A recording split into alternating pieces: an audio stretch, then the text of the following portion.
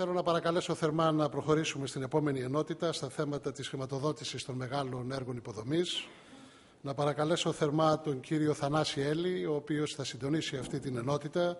Η κυρία Άλντερμαν έπρεπε να φύγει για να πάει στην, στη Ρώμη. Πρέπει να πω ότι μεροληπτώ λίγο παρουσιάζοντας τον κύριο Έλλη, διότι τον παρακολουθώ πάρα, πάρα πολλά χρόνια από τα χρόνια του στις Ηνωμένες Πολιτείες και στις συγγραφές τους τώρα στην Καθημερινή, από τους πιο ε, σημαντικούς ε, Έλληνες δημοσιογράφους. Τον ευχαριστώ πάρα πολύ και για τη συμμετοχή του. Θανάση.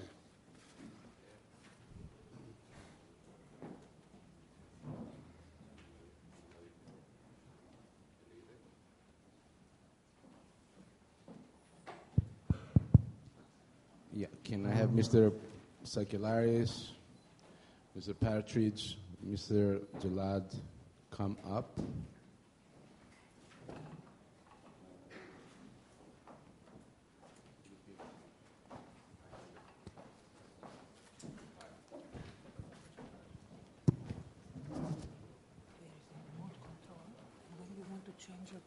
Presentation, you just It is there. Is it there? It is already inside. Thank you.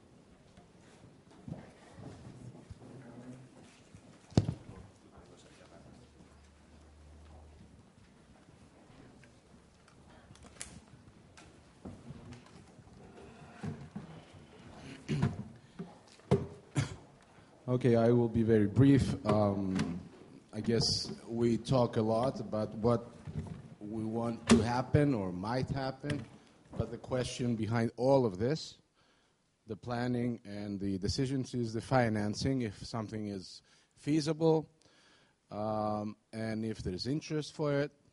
So I hope today's discussion will shed some light on these questions um, about the uh, projects in Greece, energy related, of course.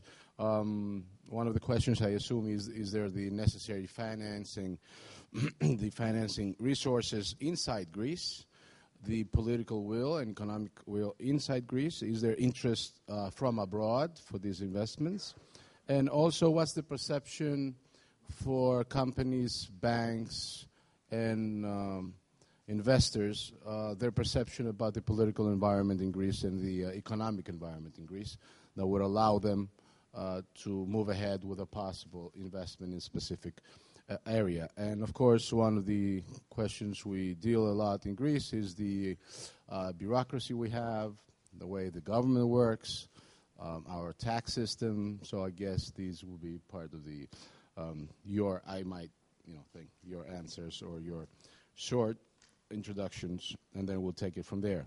Now, um, we have, I don't know who would like to go first. We have Mr. Partridge, who is uh, co- who co-heads the project uh, and structured finance department at Gazprombank and leads the bank's work uh, as a ranger and financial advisors of project and structured finance for major projects. Um, of course, the whole bio is here, but I'm not going to go into it. Uh, Dr. Saleh Jallad uh, holds the position of Group Vice President and Consultant to Consolidated Constructors Company, and Mr. Plutarchos Sakellaris, who is a professor these days, but used to be the Vice President of the um, European Investment Bank, and I assume knows a lot about investment in Greece, at least from the European perspective. Um, you go first. Thank you.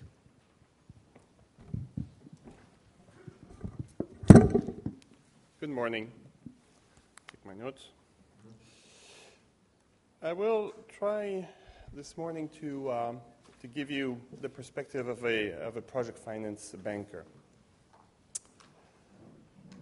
Do you think this is worth a billion dollars?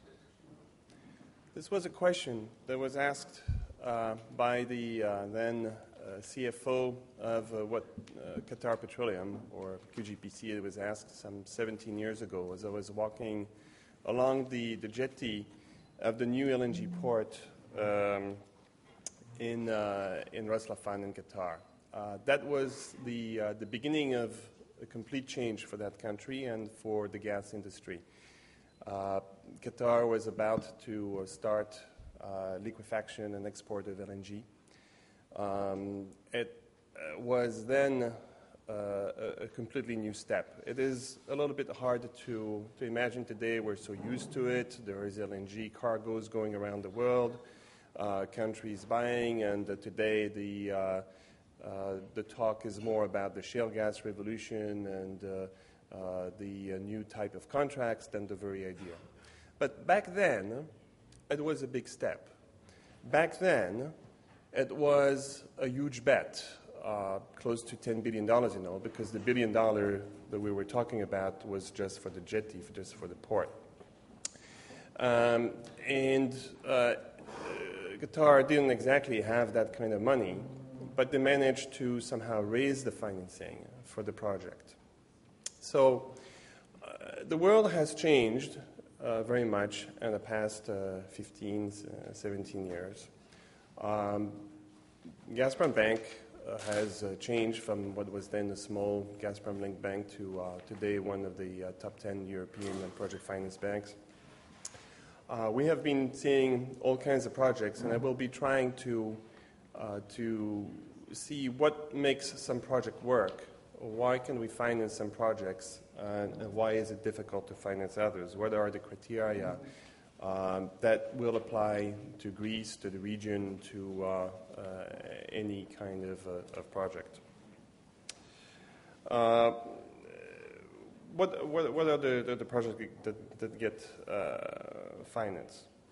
Uh, I think the first thing I would like to emphasize is that you need to, uh, to look at what the changes bring. Change brings opportunity, it brings also potentially uncertainty. Um, and how do you get from there to, to investment? How do you get it right? Uh, the first thing that I would like to emphasize is that for any project to work, for any project to get finance, you need to have a viable economic project.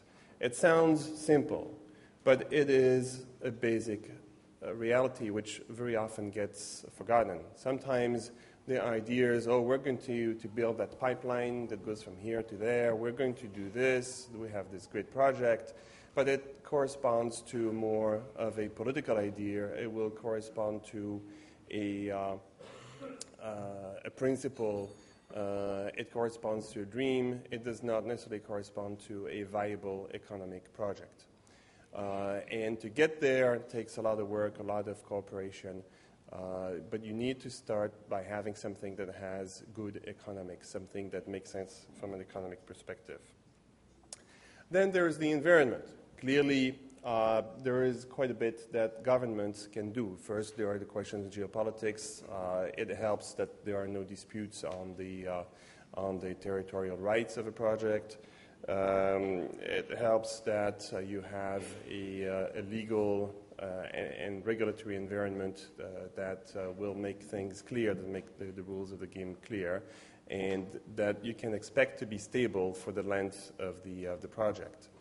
Um, there have been uh, back in um, 2005, 2006, there was a lot of turmoil in Russia about the Sakhalin energy project uh, because um, there were circumstances where there was a lot of uncertainty. Uh, the, there was not strong government backing for the plan of the, uh, of the sponsors. And there were many reasons for that. Some of the reasons were that the project cost had doubled, and because we were under production sharing agreement, that meant that the revenues to the state would be uh, delayed by some 10 or 15 years. Uh, that clearly was not very appealing, and the project lost a lot of political support in the country that does require uh, a lot of approvals, bureaucracy, uh, and uh, where you need a strong political support. That was restored through an agreement that uh, ensured that there was uh, a uh, special dividend that was going to be paid to the state under certain uh, stages of the development. Uh, the political support was restored, and the project is today a very successful LNG project. Of course, that was not the only factor. It was a strong project in itself. It has a strong economic logic of delivering gas to, uh, to Japan. But it serves as an example of making sure that you balance the different elements. Um, the, uh, you should try to avoid, of course, geopolitical interference. I sometimes am a little puzzled when I hear that there is an auction uh, to sell privatized companies, but then when uh, the, uh, the top bidders uh, are from uh, uh, Russia, there, is, there are some, some people who say, oh, but maybe we should change the rules of the, of the auction. the rules need to be reasonably clear. Um, the, uh, you have to take into account the fact that uh, public opinion is going to have an impact on whether a project is feasible or not. A shale gas project is a good project in the US, it is a legal project in France. Um, and uh, you need to, to see how things are going to be evolving. Uh, once uh, Chevron told me that for them, the place with the uh, most difficult political risk they ever had to deal with was not uh, Angola, it was not uh, countries in Asia, it was California, because they had spent a lot of money on an offshore project in California, and then the California legislature outlawed uh, offshore developments after they spent a billion dollars there. There was a problem of reading what was going to be the impact of public opinion. Uh, there is uh, the influence of the tax regime. Uh, sometimes the tax regime that is applicable to a project is going to mean life or death for a project. And uh, thinking very carefully the balance between uh, the, uh, the, the, public interest in maximizing tax revenue, but at the same time ensuring the viability of the project is a, a very difficult task. It is not, it is not simple uh, to figure out what is the right balance, uh, what is going to ensure the viability of the project, and at the same time ensuring a proper distribution of uh, revenues. Um, the, uh, in the particular case of the EU, um, I think that the EU signals are also something that are very important. I work on many projects that, that uh, are linked to the EU, either because some of the sponsors are from the EU or because the projects are uh, going to clients in the EU or because uh, the, the projects are physically in the EU. Well, there has been a lot of uh, lack of clarity on some of the energy um, goals of the EU. And actually, I was very, very pleased to hear uh, from uh, Mr. Velez this morning that there was a response coming from the European Parliament because we shared some of the same concern about the fact that the goals seem to focus exclusively on some aspects of the policy and not maybe take fully into account the need for investment. So we are, we are heartened to hear that. Um, but ultimately, uh, risk is the name of the game. Everything will rely on how you deal with the distribution of the risks and how you mitigate those risks. Mitigating uh, the key risk is very important. Uh, there is the government risk. Uh, if you expect uh, that uh, you're going to have difficulties in dealing with the, with, with the government on the project, whether you're talking of authorizations or whether you're talking of the risk of nationalization in the future or whether you're talking of uh, the risk of government interference, uh, those are going to have an impact on the decision uh, to invest or not to invest. Uh, there is construction risk. Is, uh, is the project feasible and can it be, can it, can it be undertaken. In a country like Greece, there may be an archaeological risk. If you spend a lot of money and discover some, some treasure of archaeology, it's going to have an impact. So you need to be able to mitigate and, uh, and, and, know how you're going to deal with that. Um, you have the contractual counterparty risk. Uh, you need to ensure that you have counterparties that are reliable, that you can count upon, that will be able to, to deliver. There's, of course, all the risk of uh, cost overruns and delays, and you will want to make sure that you have something in place to handle this if uh, this uh, should, uh, should happen. Um, environmental risk. Uh, we are in an era where you cannot implement a project that will uh, have a negative impact on the environment. Uh, and it is very important to take that into account from day one. Many times we have seen situations where sponsors have launched all kinds of plans, have started to do some work, only to realize later on that they're going to have a hard time to comply with environmental standards. But often it is too late afterwards because you, uh, you will not be able to raise financing. A lot of the, uh, the sources of funding these days are implementing uh, for example, the uh, so-called Equator Principles, uh, which require that you take into account environmental constraints from the, from the beginning, and it's very difficult to right or wrong in that, in that respect. Um, for projects uh, that are in local currency, there is the question of the currency risk. It can be uh, a bad idea to finance uh, in US dollars, something that will have revenues in, uh, in, uh, in, in, euros or in rubles. And uh, you, we have seen situations where some projects were financed in a currency because it was cheaper, only to find out later on that when there was a a, devaluation, uh, it was difficult to match the revenues of the project with uh, the, the, the, currency of the debt. Um, there are technology risks. We are li- living in a, in a, much more complicated world today in many sectors than we used to. Uh, dealing with shale gas implies using, uh, for example, new technologies, but also conventional gas can be more, more complicated. Uh, we are dealing in Russia with some of the projects that are now in the Arctic, so you need to, uh, to be able to transport the gas in, uh, in circumstances where the sea is frozen all year and you can use the icebreakers going east only in the summer. Uh, so those are all aspects that need to be uh, into account. And all of those risks, the important thing is how to, uh, to, to, to mitigate them. There are many business models. Uh, some will work better than others. but regardless of the business model in the end, what will be important is to allocate the risk to the party that can best uh, uh, understand the risk, who can best mitigate that risk, and uh, can bear that risk ultimately. Um, once you have done all that work, once you have a clear vision of uh, what will make your project economically viable, that you have a good understanding and you have reasonable certainty, uh, you can start to negotiate the financing. And you have to remember that on the financing, lenders are, uh, by definition, uh, receiving a, a limited uh, return. If everything goes well, they will receive a few percentage points, uh, and that's the way it should be. But in return, they need to be able to take measurable risk. This is not an equity risk. So the, you need to structure the, uh, the project in such a way that those risks can be understood, can be measured, uh, it can be allocated. Uh, the uh, projects uh, can require today uh, significant sums, and it is best to look at what are the appropriate sources of funding. And today, this is quite diverse. there are situations where you can use export credit agencies when you have uh, equipment that comes from different countries.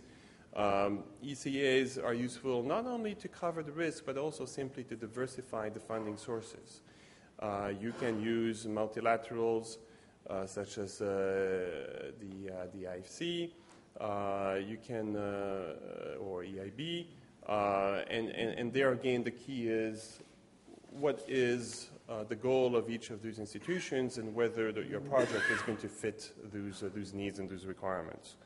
Uh, you have commercial banks, uh, you have capital markets, and of course, how you deal with those different funding sources and what order needs to be carefully thought out and, uh, and uh, prepared.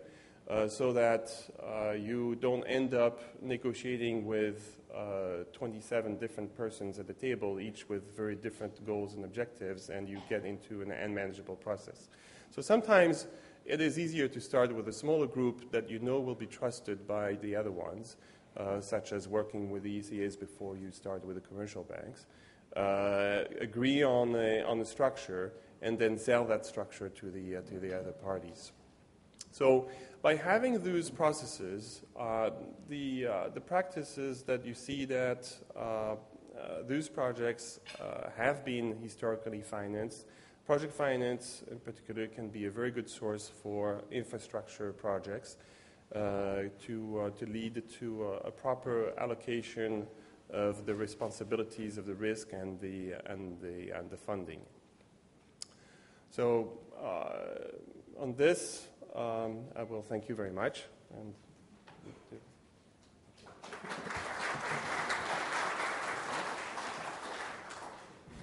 Dr. Jallad.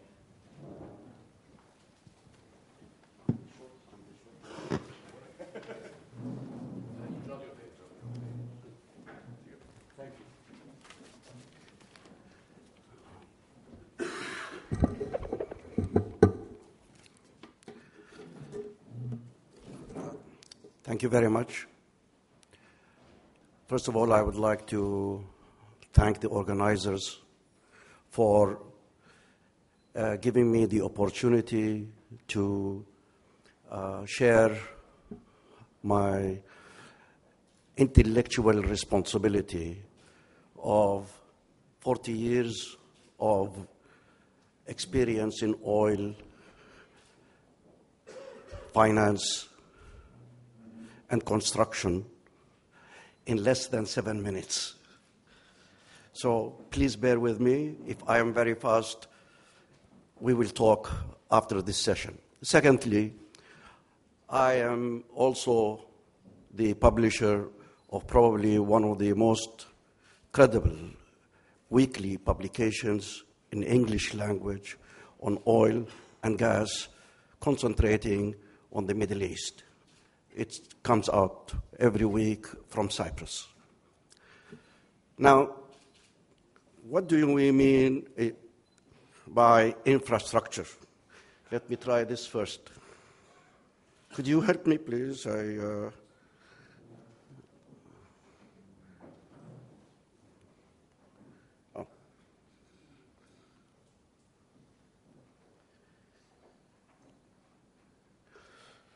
Infrastructure is best, can best achieve its socio-economic uh, results if infrastructure is looked upon, perceived, planned, and executed as an integrated system rather than its scattered system, rather than independent projects.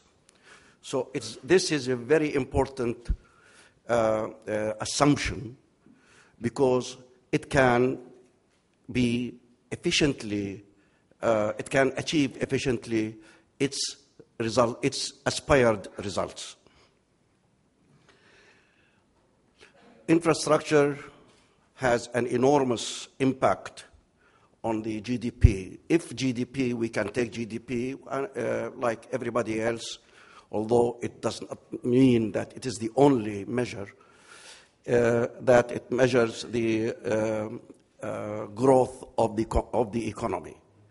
You see in this chart that there has been a direct relationship between the per capita income of Greece with the GDP.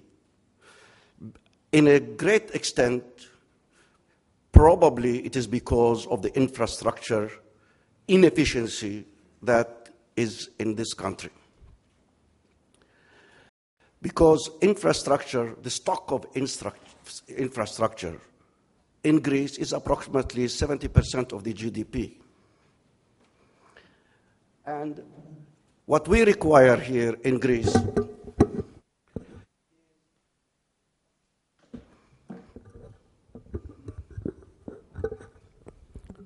Is this better? What we require is an expenditure in, the, in uh, Greece of approximately five to seven billion dollars per year in order to sustain a normal growth in GDP in this country, in Greece. Okay? These are facts. I may be wrong in the calculation, but not in the direction. You could see one of the most important issues and significant role that infrastructure projects play in the economy is in its employment effect. employment with all its uh, related um, uh, socioeconomic issues are directly affected by, affected by the expenditure on infrastructure. And this is a real gap up to date in Greece. So, there are measures, yes, that has, must be taken. But in order to elevate the employment problem in Greece, which is very important, okay, is to spend more, immediate spending more on infrastructure projects. Why we are talking about infrastructure projects, really, is because infrastructure can affect almost every single thing, every single entity in society. It is extremely important for the stability and the growth of society, and therefore, and therefore, for funding facilities. We are talking about funding. And we understand risk. We understand all kinds of risk. Okay? For, let me give you an example, for instance. There is, according to my uh, researchers, there's ample uh, uh, supply of available funding to various questions, uh, uh, internationally and nationally for very good infrastructure projects worldwide. There are very good feasible projects. There's no shortage of projects in Greece, not for sale to foreigners, but for your own benefit. However, why there is no matching between the appetite of long term investors and long term institutions for long term projects in Greece. There must be a problem. Why should the funds go somewhere else? My, I want to be very short here. My uh, conclusion lies in governance. Governance is probably one of the most important issues that financial institutions look into carefully, but they don't talk about it, like many, thing, like many other things. Maybe they don't know. Maybe this will be the issue, like in Basel III that's coming. You will see about governance. Everybody is talking about governance, okay? Because, yes, governance is very important. And governance not, does not mean government, it means all through the system. If the system, but of course, the maestro is the government, all right? If the system does not look at the governance issues at all stages, all right, then you will not find really uh, an, uh, uh, you will have less opportunity to finance these huge projects, including oil and, and all those dreams will not be realized. We can talk about governance for a long time. Governance means, means accountability, prompt accountability at every stage.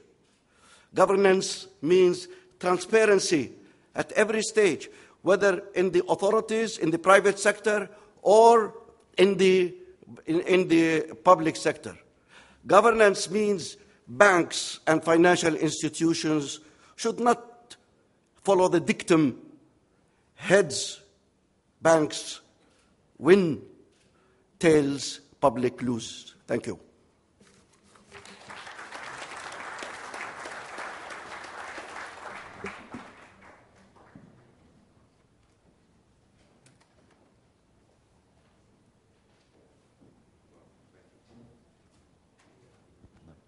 Thank you very much uh, to the organizers for inviting me here. I, uh, I will try to uh, uh concentrate uh, maybe make it a little bit more general, concentrate on the European Union and on total energy infrastructure and the financing needs of that, and then maybe limit it a little bit to our region later on.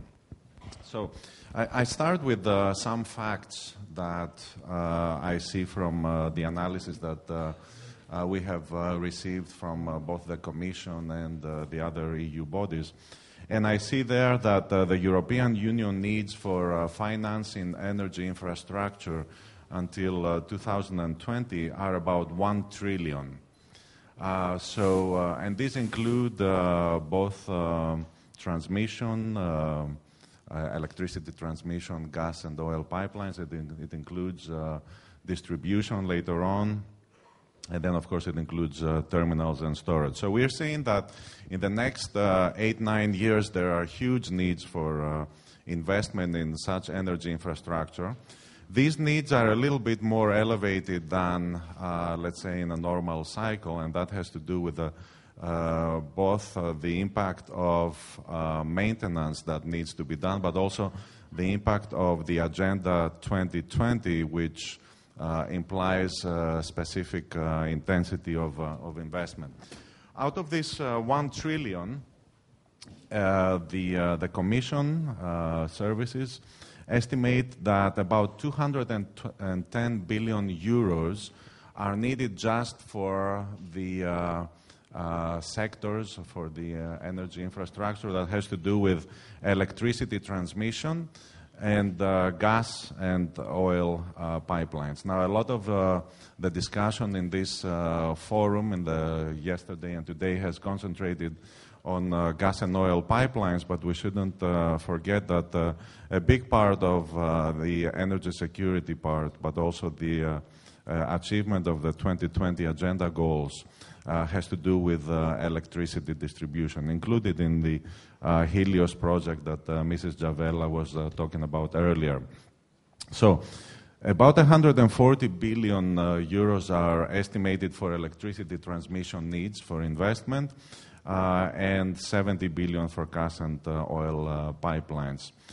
Now, uh, these are uh, elevated needs. These are big needs uh, to, to begin with. We're talking about some projects, uh, some of which are commercially viable, and uh, we, were, we heard earlier about what uh, makes a project commercially viable, but some of, some of these projects uh, have more of a public good nature and are not commercially, commercially viable. In which case, of course, the contribution of the, uh, of the public and the state uh, financing is, uh, is important. And we are in, in the middle uh, of, uh, of a confluence of uh, problems, uh, many of which um, have their source in the financial crisis that we have been living in the last uh, six uh, years. So the crisis basically uh, has led, uh, or some would say, uh, has been uh, caused uh, by certain limits in the ability of uh, government to expand their debt. We have uh, fiscal crisis. We have uh, found that uh, to a large extent the EU governments do not really have the capacity to invest in public goods or in public infrastructure as they used to in the past. And this is something that will last at least for the next uh, decade. Uh, we'll see how much more. So, one uh, conventional source of uh, financing, which is uh, public uh, financing, is severely constrained. Uh, the second thing that the crisis uh, has done is it, ha- it has uh, created uh, uh, significant problems to the balance sheet of banks. Uh, banks, at least in the European uh, Union, have been traditionally a very uh, big source of uh, financing for such large uh, infrastructure uh, projects. As a result of, of the crisis, these banks are not, and because of the, the, the state of their balance sheets, are not in the condition uh, to continue uh, that financing that uh, they would be, let's say, a decade ago. And then, partly because of the crisis, but also partly because of a process of, uh, of uh, banking and financial system regulation that had started even before the crisis, uh, we have the, uh, the onset uh, in a few years of uh, new regulation, in particular Basel III for banks and Solvency II for insurance institutions, which are at least estimated to restrict even further the ability of universally uh, banks, but specifically also for the uh, European Union banks, to be able to participate uh, in this uh, financing. So, as a result, uh, what we are left with uh, is uh, a large gap uh, in the uh, financing that is needed for, let's say, this 210 billion euros of investment that needs to be done in the European Union uh, for uh, the next uh, uh, decade or so. And of course, a large part of that is for Southeastern Europe and for the Eastern uh, Mediterranean. The estimate uh, by the European Commission is uh, at about 60 billion uh, gap. That's, uh, let's say, about one third of what is necessary out of the uh, 210. So, the, I guess the, the theme of the panel is uh, okay, we, we, we know these uh, problems, uh, we have this gap, what is the solution, uh, what uh, can, uh, can be done to, to solve uh, these issues. And uh, in my mind, uh, there are several things that uh, have to come together if we are to achieve uh, the actual financing and construction of these uh, infrastructure projects. Uh, one thing that is uh, for sure uh, necessary is a higher participation of the private uh, sector in the financing of these infrastructure projects. If it cannot be the governments alone or uh, let's say, the governments and uh, the traditional private sector uh, that is involved in uh, project uh, finance together with their banks, then what has to happen is that the financing has to open up to private financing, but not of the traditional type. And I'm going to come back to this a little bit later uh, when I talk a little bit about the project bond uh, initiative of the European Union and the uh, European Investment Bank. The second thing that for sure has to happen is better leverage of public funds. If public funds are necessary but they are scarce, then we have to find ways of leveraging these uh, public uh, funds uh, in a way uh, that covers a bigger uh, scale and a bigger scope. And of course, leverage is just another word for saying use the public funds as a basis uh, to be able to uh, invite and include other sources, in particular private sources of financing, to achieve the totality uh, of the financing. And then along the same uh, scheme, but uh, with uh, different players, is that uh, we have to find uh, ways of using the balance sheets of uh, international financial institutions, which have proved to be very healthy and remained healthy throughout the crisis, to leverage on these balance sheets to find financing for these uh, uh, investments. And of course, in these international financial institutions, I, I think primarily of the European Investment Bank, but not only. Um, the IFC of the World Bank and the EBRD in London also have mandates uh, in the region, in the southeastern uh, Europe and the eastern Mediterranean region, and they could also be uh, involved there.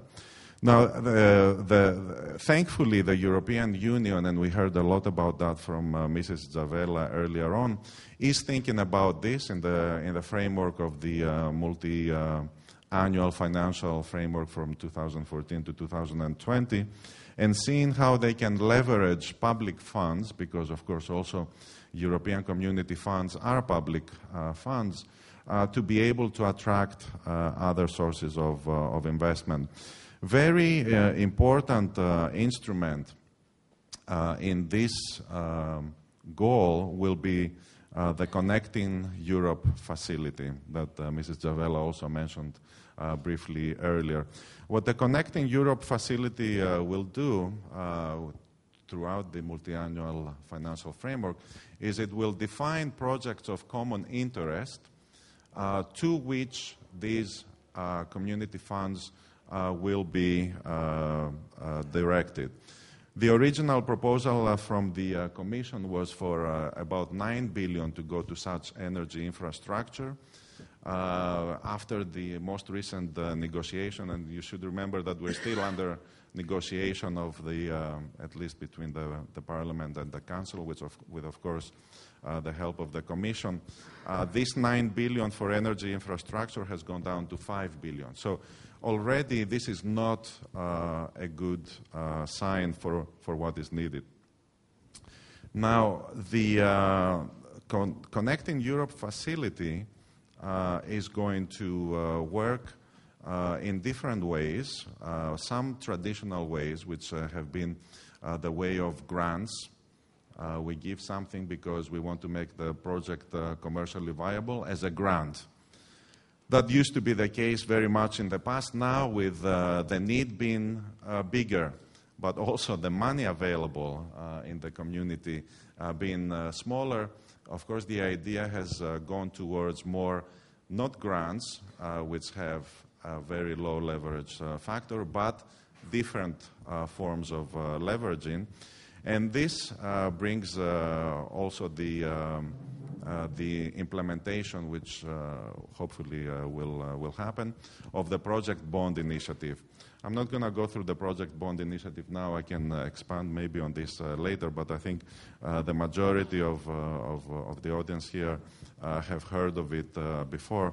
The idea of that is to use scarce public funds, to use the balance sheet of a strong IFI such as the European Investment Bank, and attract funding from non traditional private sources of uh, financing uh, project uh, finance. Again, I, I stress traditional, pri- traditional private sources have been the banks and others who are uh, involved in, in energy uh, and uh, in construction. So, to conclude, what we will need, to conclude my preliminary remarks, what we will need is tighter cooperation between the state and, in general, the public sector uh, the banking uh, and the more general private uh, sector, and of course also uh, of IFIs uh, such as the EIB, but not only.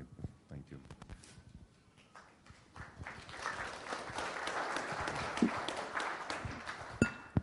before I open the floor to questions, I have two of them for the panel. First of all, to Mr. Partridge, you made the generic point about um, changing rules.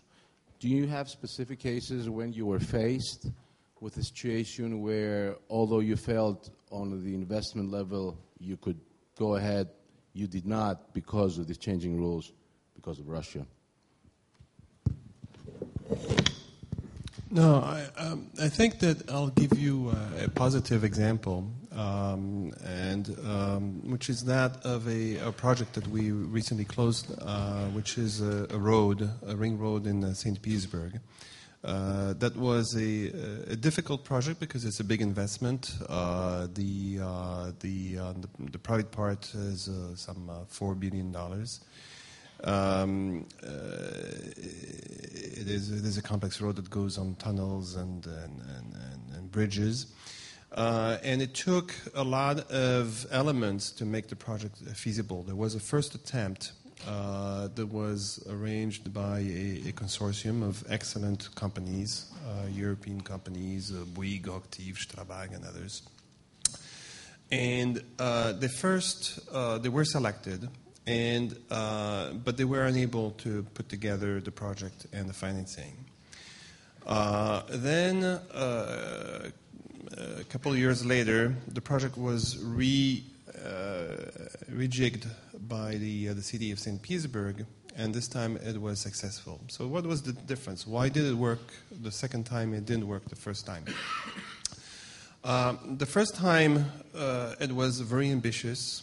Uh, it was uh, uh, it covered the whole the, the, whole section, and therefore it was something like 10, 10 billion or almost 10 billion euros. Um, it was, uh, and there were a lot of uncertainties. There were uncertainties as to uh, who was taking what risk, how the risk were allocated between the city and the consortium. Uh, there were a lot of uncertainties with regard to the to the construction because no, nobody knew exactly what the ground was going to be. Um, so the cost overruns were, uh, there. There was uncertainty on the revenues of the project. It's a toll road, the first toll road in Russia.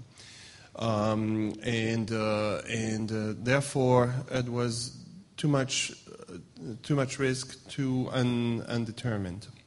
So the city uh, uh, did several things.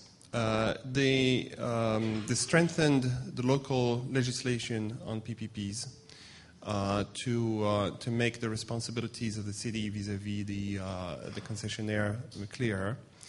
Um, they reduced the scope of the project by having an allocation. They have they, they, they built the relatively easy part of the road on their on their uh, uh, separately on the, on the budget, and they tendered the difficult uh, segment in, in the center. But it allowed a more narrowly defined project, clearer, simpler to understand. And uh, there was the tender was based on two criteria. Uh, what was the uh, uh, the minimum revenue guarantee that was required from the city, and what was the upside that was shared with the with the with the city, and that allowed a, a, a system where it was clear and the risks that were taken by the concessionaire were defined by the very rules of the of the tender. A consortium was formed, of which uh, actually uh, we as a bank decided that uh, we would even enter as, a, as, a, as an equity participant. Um, uh, and was able to, uh, to, to, to, build this. We're working with uh, Italian and Turkish contractors. Um, and the road is going ahead, the financing was arranged, and there was a good allocation of the risk. So the, the, key was to have very clearly defined allocation of risk, goals, uh, revenue, uh, and understand clearly what, uh, how it works. Thank you. And to Dr. Jallad, because these days in Greece, there's a lot of interest about possible Arab interest in Greece. There's a lot of talk about Qatar, not confined to Qatar. Given your experience, can you share some thoughts on that? Is there true interest from Arab investors? Is it not? And if it is, do you have an analysis of it? Look, uh, money does not know any nationality, and you know that. So, if the environment is good, they will come. If the environment is not good, the business environment, they, they may not come. They will go somewhere else. It's very simple. Even, even the Greeks left this country with their billions of dollars you want others to come in? Where is, what, what is this? Uh, you must face the facts. You must face reality. All right. So it is very, very simple. There's no need for Aristotle or Socrates to come and explain to you these things. You know it at home. Your child knows that. Okay? This is one. Because there are impediments to financing, not necessarily related to any nation or to any culture. And I will give you, because I will give you some traits why infrastructure, we're talking about infrastructure. But if I'm talking about a casino, it's a different thing. All right? The infrastructure, the commonality among infrastructure is that they are huge. One. Therefore, difficult to finance. They are uh, uh, interdependent. That adds to their difficulty. They are uh, uh, uh, sensitive to elections. They are sensitive. Okay? If you look at the history of how infrastructure was built here and until yesterday, you don't see this kind of coordination that has society as its final uh, uh, uh, uh, beneficiary. All right? You have Syriza here and you have I don't know what and all these things. Why? Infrastructure in any country and probably globally enhances the human rights of their citizens. Without infrastructure, how can you have good education? How can you have good access to water? How can you have, and so on? All the, how can you have gainful jobs? These are all uh, human rights. We don't want to have human rights in uh, somewhere outside Greece. I want to see, first of all, human rights here. This is why infrastructure is a vital issue to this country. And it will enhance its, its actual position worldwide. Thank you. I don't know if I have, but this is my, my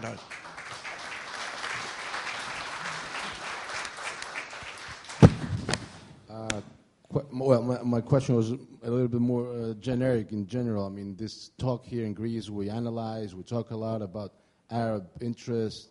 They will buy this, they want to buy that. So I was just wondering, given your experience, course. is there some truth to it, or do we tend to exaggerate as we do a lot of times? No, no. I just Just a point. Just yeah, you are. No, no. What I'm trying to say is that yes, there is genuine interest if there is genuine uh, uh, uh, uh, supply of good environment in business. Look, my friend, look at your bureaucracy. Look, if you go to Dubai, in 36 hours you can have a company. Here, you want to have 36 years, maybe. If you have, if you have here, if you have, I'm running for the elections. no. So if you have, for instance, please, I'm not joking really, but if you have such uh, uh, uh, detrimental bureaucratic issues, then the banks will immediately know. They are very good. And investors are all covered. You are a covered investor. I am a covered investor. All right? So uh, uh, we look at things. Qatar is interested. UAE is interested. I am not talking as national, as people. They have a lot of money. Why should they go to Turkey? Why not here? Thank you. Thank you. Um, questions?